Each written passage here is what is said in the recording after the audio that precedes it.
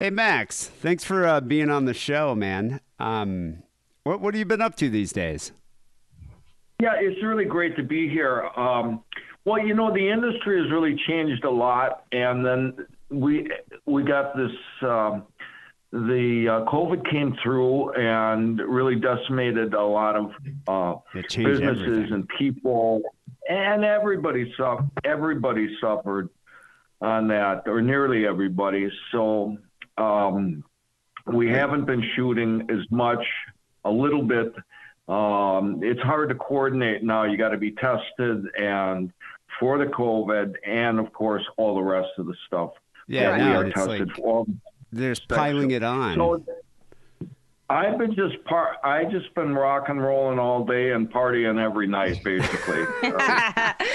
Good. well, it's, it's good to hear you're still uh, you've still been producing uh, some uh, new material, uh, new content the past few years.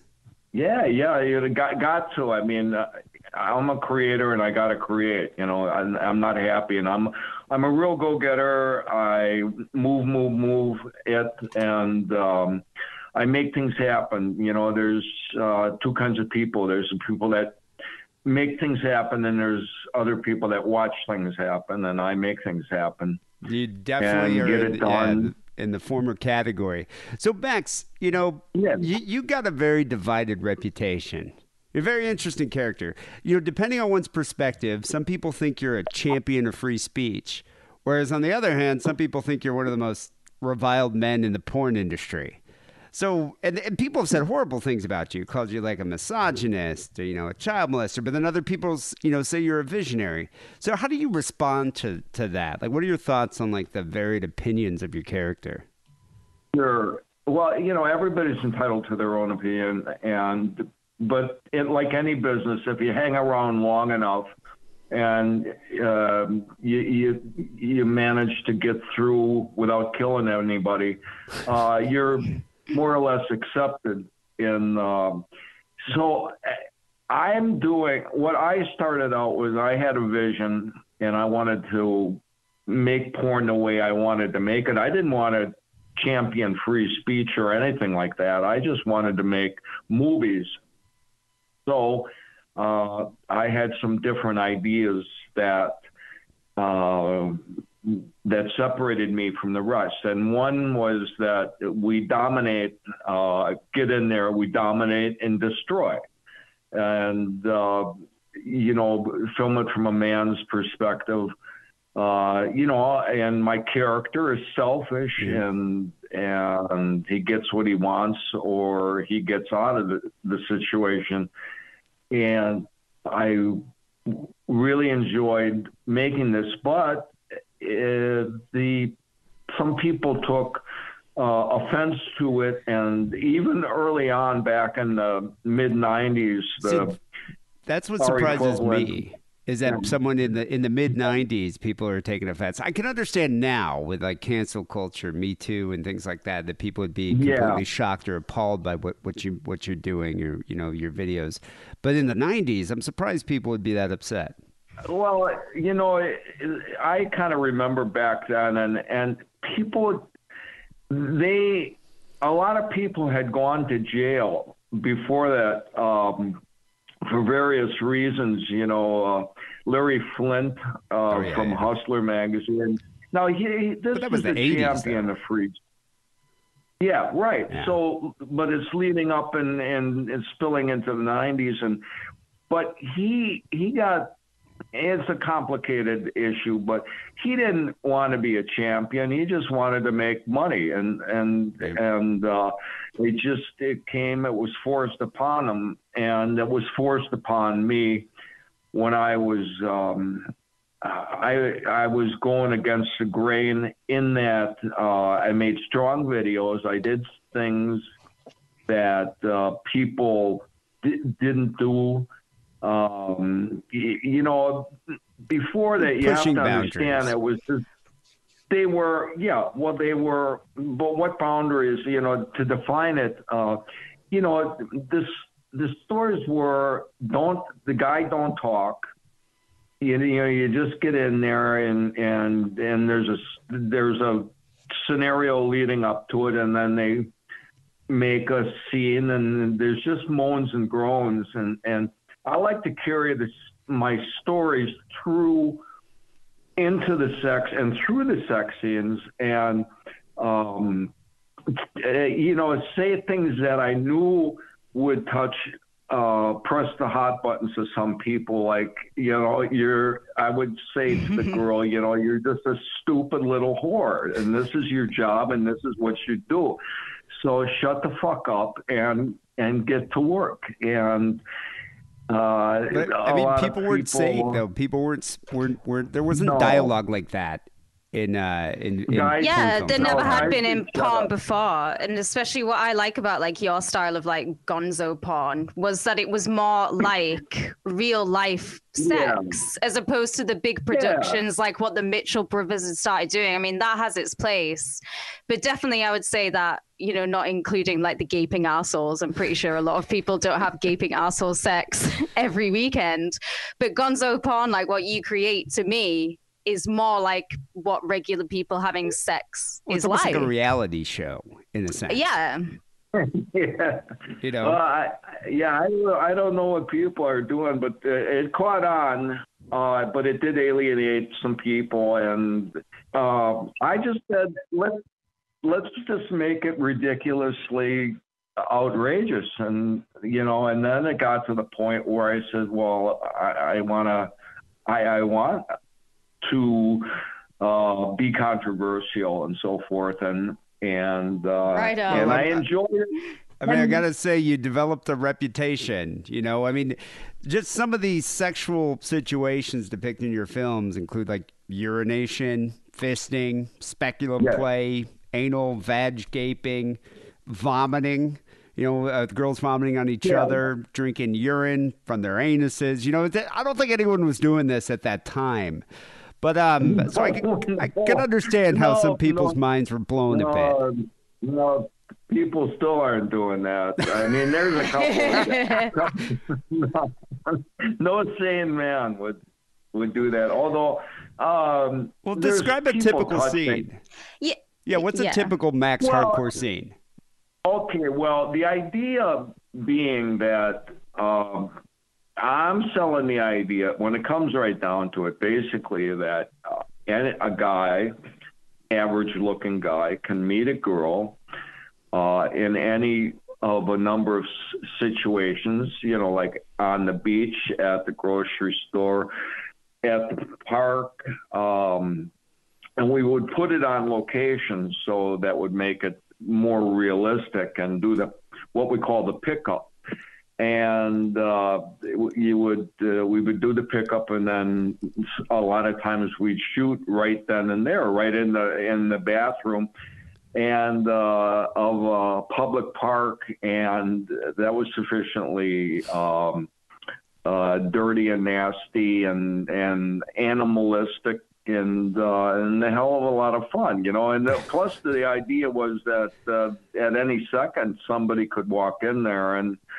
and the gig would be up. But um, fortunately, uh, uh, it never happened um, because of our pre-planning. Yeah, like how do you book the girls? Do you just do you say like straight from the off, like you're gonna be drinking the piss out of another girl's ass today, or is it a case of like the money goes up and up and up for them? Yeah. Yeah. Well, what I would do, uh, you know, they say a picture tells a thousand words. So I started out with a um, a board that had uh, 16 Polaroid pictures on it. If you remember the Instamatic, uh, you know, Polaroids. Yeah, yeah. Polaroid and it would, it we I'd walk the girl through the scene, um, and then we started making trailers. Um, we didn't use trailers back on the VHS days because there was no, you know, we had no way to market them or right. place them. So, um, but once the internet came along, we got we got on board with that, and then we started making trailers. So I'll show a girl trailers, and I'll ask them if they're completely comfortable with it, and it would be brand new to most of them, um, because uh, I often use actresses that are relatively new to the business, so that it seems more realistic that they are, you know, a real person rather than just a girl doing her uh, her 500th scene. Right. Well, a lot of these girls Um, are really young too, aren't they? Very young, very petite. Well, yeah. Well, in, uh, part of that was yeah, young, young looking. So the innocent factor, and Yeah, then you do have, like- course, a little doll type. Yes. Definitely.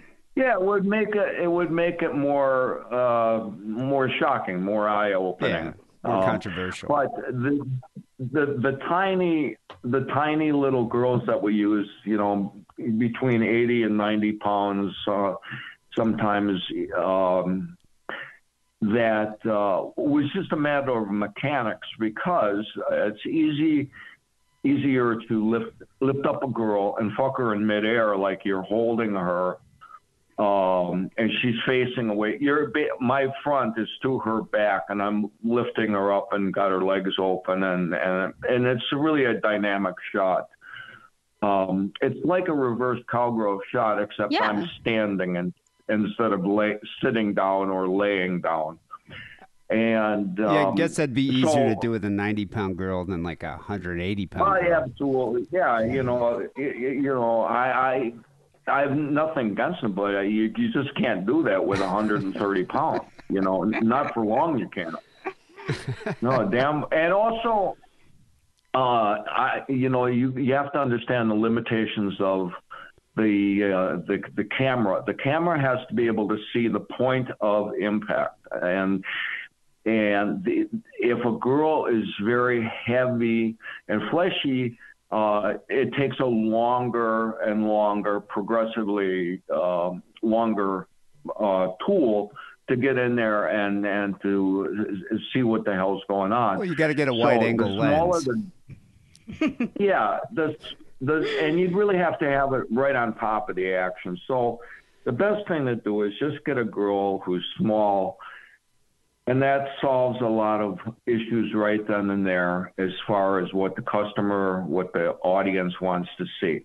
Well, one- and, one uh, thing, Max, you took it one step further because a lot of these girls who are already petite and you know 90 pounds, but then you have them wearing pigtails and sucking on a lollipop with their hair in a scrunchie or uh, braces. right, So, because- was that your idea? Was that is that does that appeal to the demographic? No, no, no, uh, no. It is strictly my uh, my plan. You know, uh, that's uh, right according to the plan because it's more eye opening. I mean, if you see a girl who looks like she's um, 14 years old and she's taking up the ass and having a good time, um, that's great. I mean, uh, that's really sh- as far far Yeah, as shocking. from a shocking stand.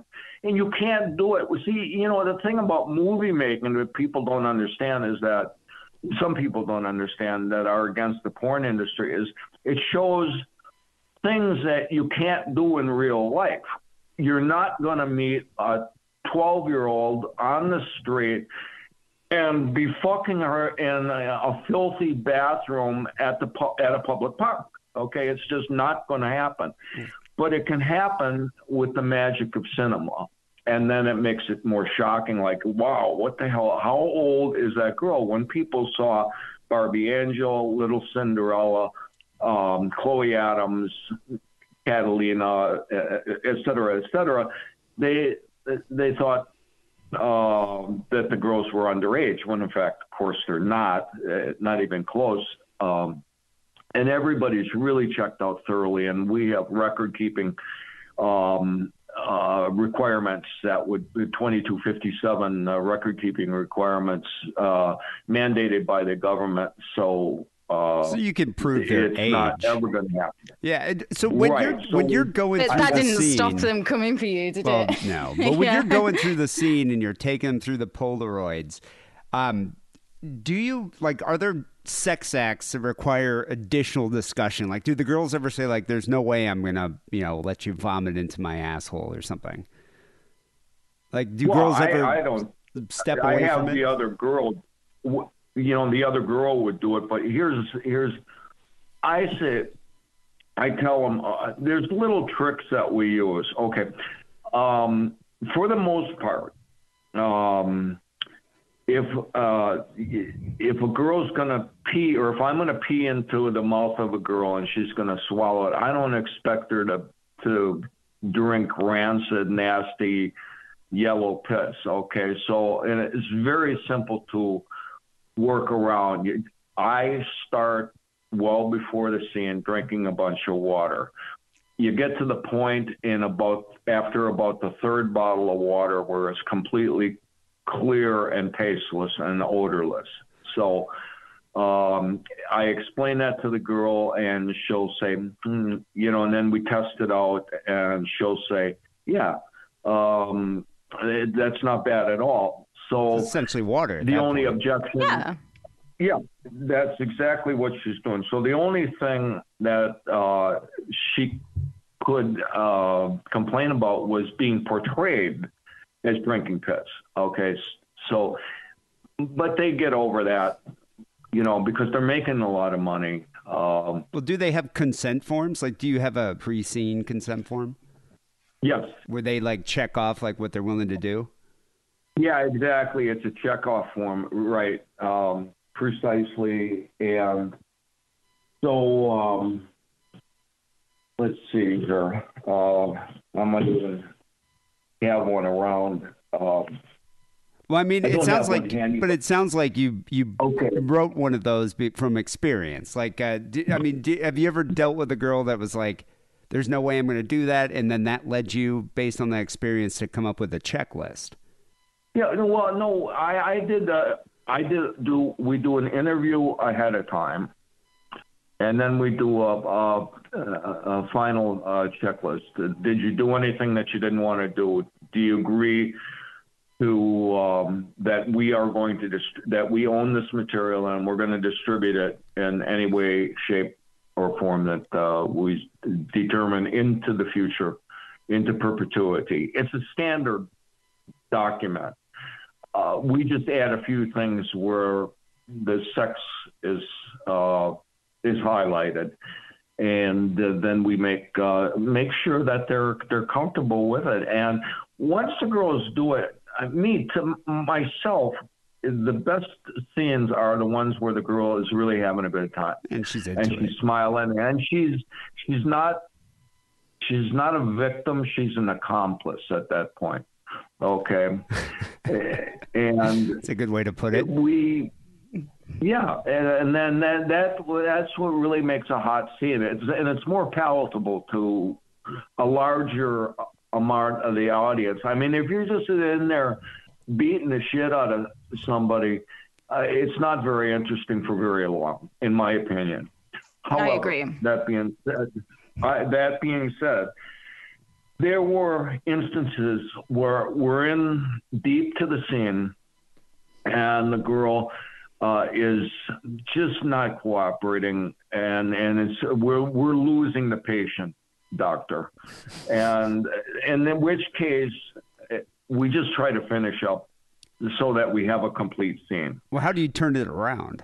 I i i try to turn it around but a lot of times like um they just well, let me put it to you this way, and it's hard for some people, uh, normal civilians, to imagine, but there are a certain amount of people in in our society that like to like being a victim, and uh, and you can see this when you watch bondage movies. They're tied up, I, and I don't do bondage per se.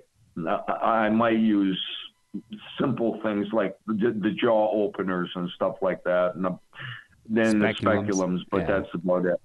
Yeah, they but um, they really like. Well, that's their fetish. They they get into it. Yeah, and they they get into it, and they like they like being dominated, and they like you know like. uh playing that role. That's they're very they slip into that, and once they slid into that role, that mindset, it's it's difficult to turn that ship around. Um, it, you can do it, but it, it's a it's a it's a long arc, and it takes you some time and a lot of muscle, and in my opinion, way too much discussion to to, to make it worthwhile. It's better that we settle with a shorter scene if a girl is not if we're not getting the the, the correct responses from the girl you know the happiness. Yeah. I, what do you I mean if she's a victim? because in some of your scenes there's yeah, like a lot of cock gagging there's a lot of tears and then not to mention there's like yeah. the whole humiliation aspect. Because I, I, I, saw in a in a scene there you had the girl looking at the camera saying to her mom like how do you like me now mom? I'm a real uh, yeah, you know, i'm well, a real model. Are you you're proud of your little princess now. Yeah. yeah, but I mean, I can understand how some people might see that and take it the wrong way. But are you saying that the girl that's doing this, she's having fun with that? She's getting off on being humiliated like that? Mostly, yeah, for the most part. I'll, I'll, I'll admit, though, that there's some girls that just wouldn't want to do the scene again. You know, they did it once and that's that's it. It's a very small percentage, but there there is that percentage, and um, uh, and I do my best. I really I started out at the beginning of the day with this, and I I always I often say that the word for today is happiness. Okay, we're not happy until you're happy. Um, so uh, we're gonna we're gonna craft this thing that it's not offensive to you, that you enjoy what you're doing, and you make it, you're just a little dirty whore. And if nothing else, that seems to ring true with a lot of girls. They wouldn't be in the business. They like being dirty little whores, and and it works out pretty good. However, there are some that I've pissed off.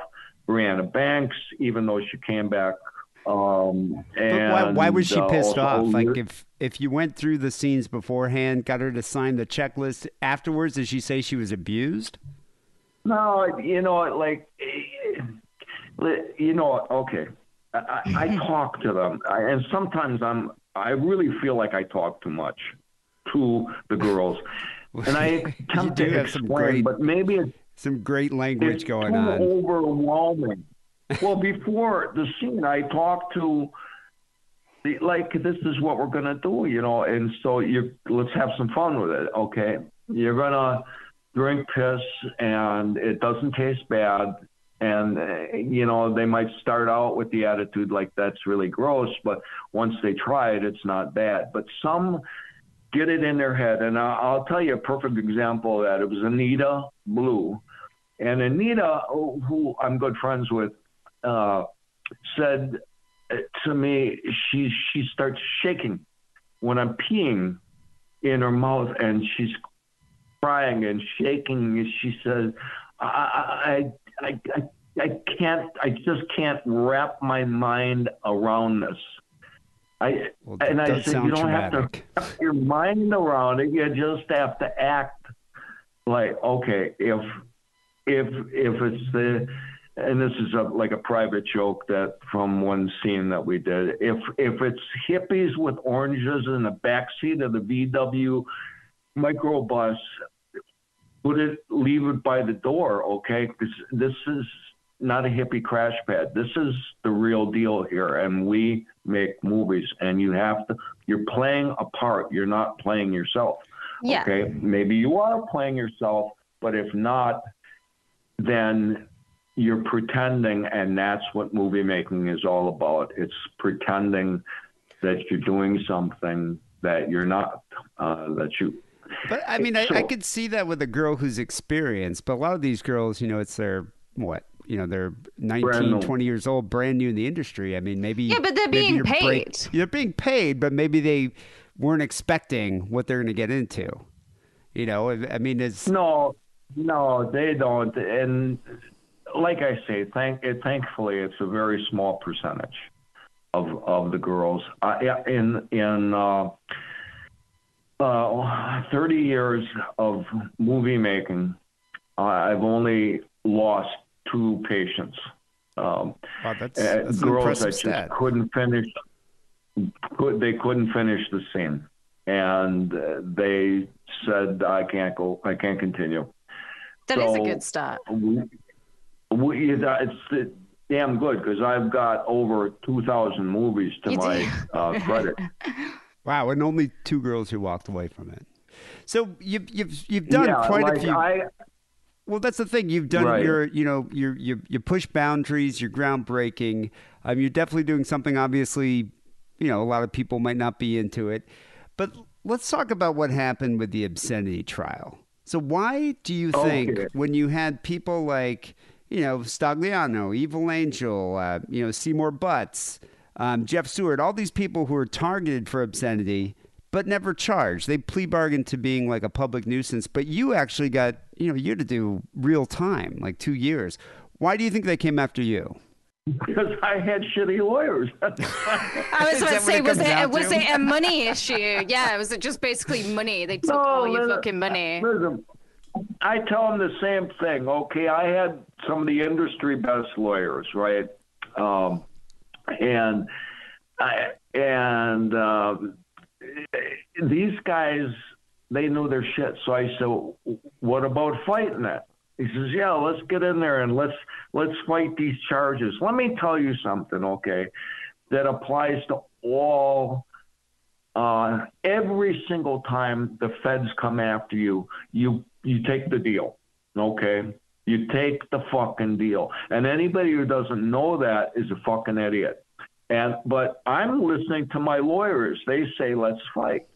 And I want to fight. You know, I think what I'm doing is right, but you can't fight the federal government. They got well, all Flint the money. You got no money. Okay, so what happened leading up to this was they they had a uh, a commission in the early uh, O's, uh, eh, and you know there was a lot of a lot of people pissed off about a lot of things because the World Trade Center had got uh, got taken down and then the planes Patriot crashed, Act, and a lot of, of people were understandably really pissed off with the whole world. So the government, my this is just my theory. I don't know if it's correct, but uh, what I think is that they said, well, we have to have something.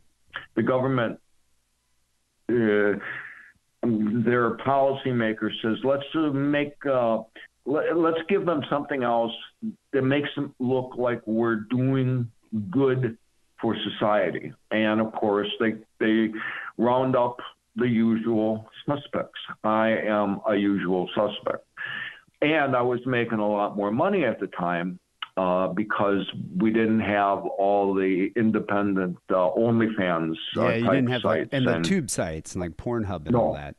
It's all DVD yeah, sales, right? Tubes, yeah, and then stole all our stuff. And so, um, anyway, uh, so they formed a commission. It was called the Meese Commission, M E E S E Commission. Mm-hmm. And it was the anti-porn commission. And what they did was they said, how are we going to attack porn? What's our what's our angle of attack? Because they considered it to, to be a war um, uh, of morality, and also to show. I don't know how much they really cared about the morality, uh, but they did care about the money, and they did care about looking good. Okay, so they went uh, they went and did uh, a lot of investigations. I was one, John Stagliano, Jeff Mike, um, Rob Black, and uh, one or two other fellas. Uh, not Seymour Butts, though. I don't think he was involved in any way. Um, they went. They went after us. Uh, the four I had mentioned, and all Jeff Mike got off on a technicality. Uh, John Stagliano got off on a technicality, and they they never refiled the charges. And they but they did get a con- conviction with uh, Rob Black from Extreme Associates, and they they got a conviction from me because I fought the charge. What was the conviction though? Like, what were the charges? Right. Okay. So what the government did was they ordered from a distributor, not from me directly, but from a distributor, uh, 10 of my movies. We would typically, we didn't sell to uh, individuals. That was for distributors. That was the accepted way of doing business. And, uh, and, and they, um, they, they, this J, J, uh, J, J, J, J, J Mark, uh, I forget right offhand. Anyway, the distributor sent, his name was Jay, but I can't remember the company. So wait, the FBI uh, went anyway, undercover, got got the ordered the uh, the movies no, from the distributor. They, they just ordered ten videos and had them out of Florida and had them sent to a post office box. Okay, you United States Post Office box, and anybody knows, everybody knows, you don't ship to a post office box. Okay, now you, you got to be some kind of idiot because the post office is connected with the government. So that's if they want to bust you, they're going to yeah, they could sent. use that. Yeah, but I sent it to the distributor. They, the distributor then sent it to um, the post office box. And through some strange twist of logic, they bust me for shipping 10 videos to this post office box in Tampa. But uh, showing uh, your typical content, right? Like fisting, urination, vomiting, all that. Yeah, all that. Yeah, and the Euro, what we called the European versions too.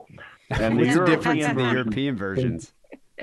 yeah. Yeah. Well, that, they, that, those are the ones that had the peeing and the fist fucking in it. That's the basically the difference. Right well, there. yeah, Max, that's what we're all up to yeah. here. That's that's my plans for tonight.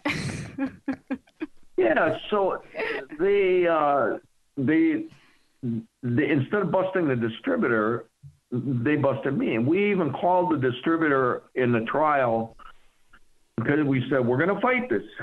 Oh God, damn! If I had that all that money.